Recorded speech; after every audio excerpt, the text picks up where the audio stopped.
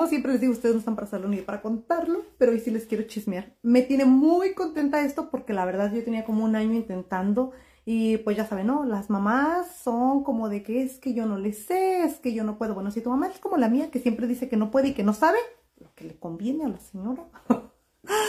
Yo tenía casi un año queriéndole sacar la cita para el pasaporte a mi mamá y por una o por otra cosa no se podía. Las citas no había y que esto y que el otro. Pero bueno, el chisme es que si ustedes no pueden sacar su pasaporte en territorio mexicano, lo pueden hacer súper fácil por WhatsApp.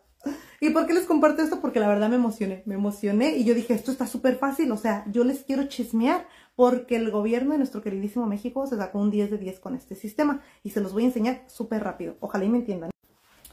Primero van a mandar un mensaje en WhatsApp y van a poner trámite de pasaporte. Les va a salir un emoji como este y les van a dar la bienvenida.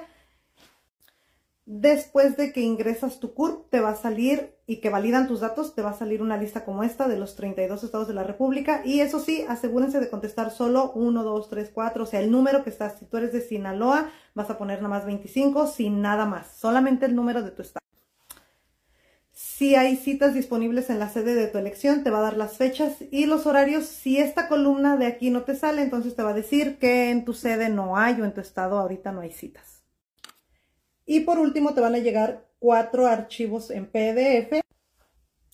En estos cuatro archivos de PDF te llega tu comprobante de la cita, tu formulario de pago en el que vas a pagar o también ahí te dice el monto de que vas a pagar, tú tienes que seleccionar para cuánto lo quieres, un año, dos años, tres años, cinco años, diez, los que lo quieras, creo que son uno, tres, cinco, uno, tres, seis y diez, algo así, bueno, ustedes ahí le van a leer, está súper fácil. Y una vez que les da esos archivos de PDF y es su comprobante de pago, ya les dije, su, su comprobante de la cita, los, los pasos que van a seguir y los documentos que puedes llevar, los vas a imprimir, ya te va a decir el número de confirmación, te da un número de folio.